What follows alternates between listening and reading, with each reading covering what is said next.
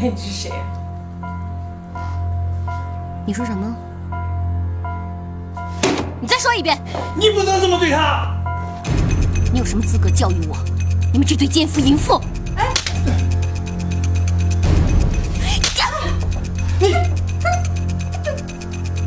凭什么打？你凭什么打我？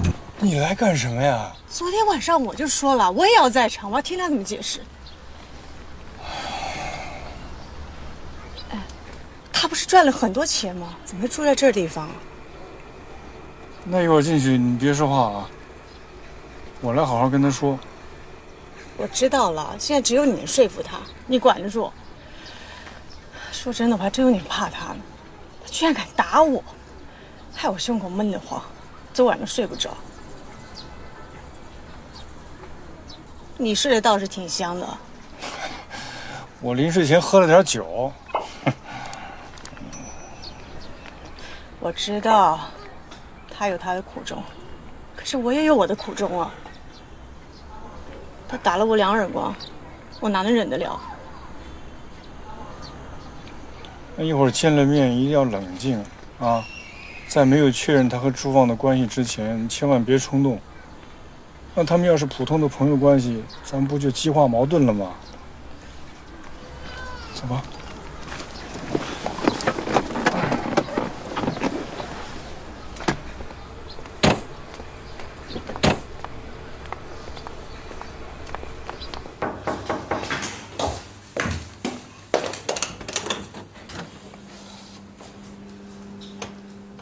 我们有事儿找你，你看是出去谈还是在你家？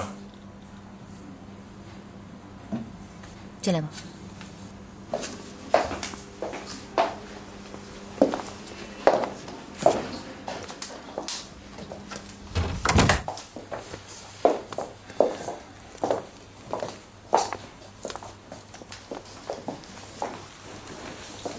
你妈呢？出去了。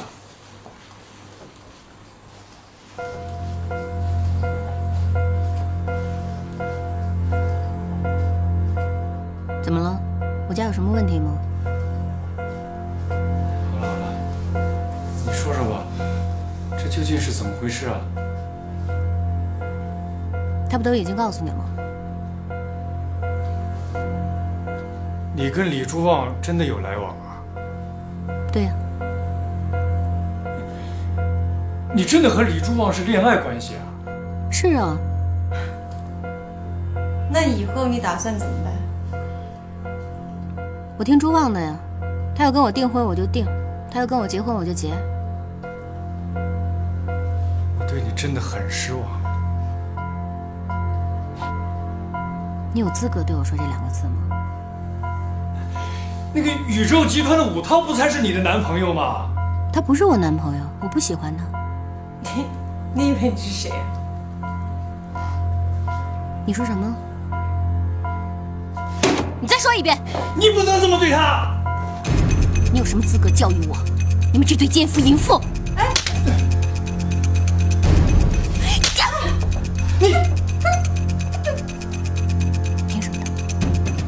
什么打我？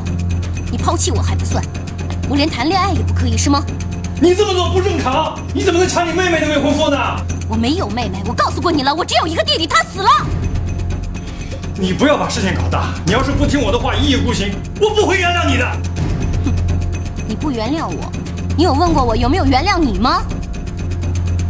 你害得我妈失明，害死我弟弟，你干脆连我也杀了算了。他说谁是双目失明？谁？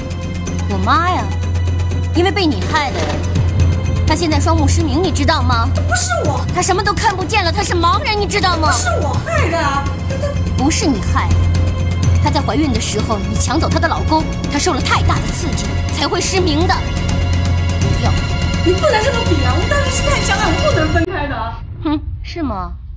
好啊，我很理解啊，我也很爱朱旺啊，我们两个人爱得很甜蜜呢，懂吗？你还很年轻，你怎么能带着这么深的怨恨去恋爱呢？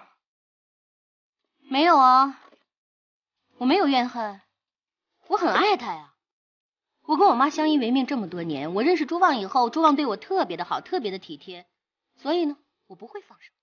可是你不能伤害我女儿啊！你受的伤跟他有什么关系呢？你为什么要伤害他呢？你当年为什么伤害我妈？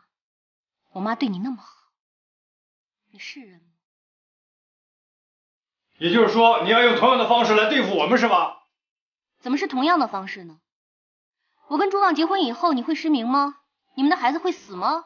可这么做，你也会毁了你自己的未来啊！我不会的，我一定会特别幸福的。我一定要跟他结婚，我一定要给他生孩子，我要比你们幸福一百倍。你也是受了高等教育的，现在也是个编剧，你应该知道，你这么做不但毁了别人的幸福，你自己也不会幸福的。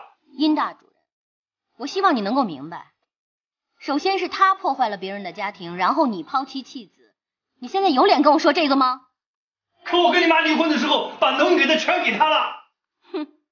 哼，没想到二十年以后，我女儿还这么对我。你女儿？你在说谁啊？我吗？真恶心。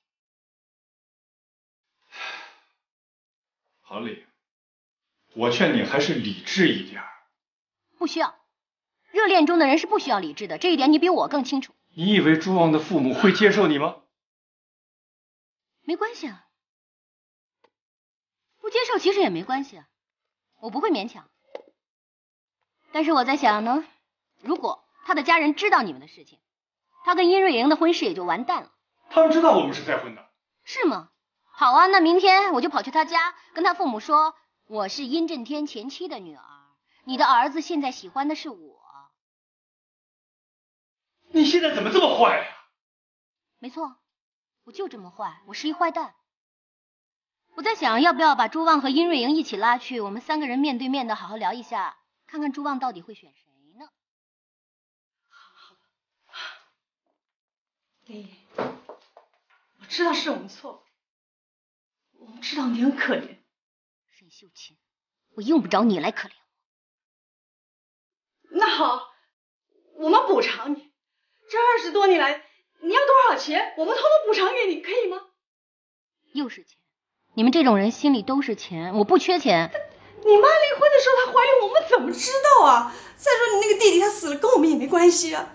是你妈妈自己没有把他照顾好，他死了吗？你说什么？